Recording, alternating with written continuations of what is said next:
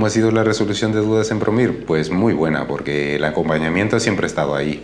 A pesar de que es una plataforma digital, siempre te has sentido acompañado, siempre te has sentido que hay una cara humana detrás, aunque no la veas, pero te acompaña. Entonces, las dudas siempre se resuelven eh, a más tardar, creo que 24 horas. Entonces, aunque hayas cambiado de tema, siempre te dan la respuesta al día siguiente, si muy tardado, o el mismo día, si, se si en muchos de los casos. Y, estaban ahí, siempre pendientes. Entonces te, hacían sentir importante porque decías, eh, están pendientes de, mí durante la preparación.